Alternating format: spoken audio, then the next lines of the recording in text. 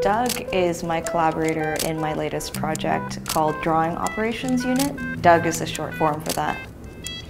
I've been working with uh, the robotic arm for about a year now, and we've been making uh, art pieces together and kind of experimenting with gestural uh, collaboration.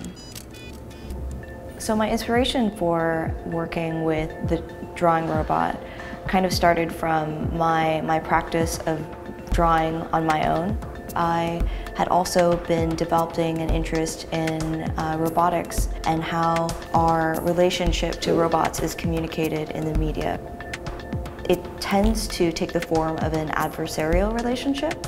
I wanted to sort of um, see an image of a human hand and a robotic hand working together um, as a more empathetic relationship and a collaborative one, as opposed to one that's automated or adversarial.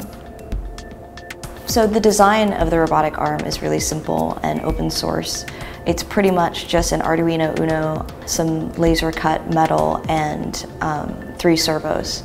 There are two primary modes, one which is autonomous mode, in which uh, the robotic arm kind of draws on its own. That's sort of less interesting to me than the collaborative version, which is when the robotic arm mimics my movements uh, via uh, a webcam um, just hanging from the ceiling.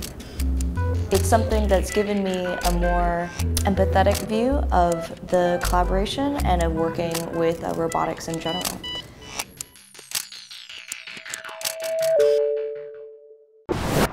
I'll race you.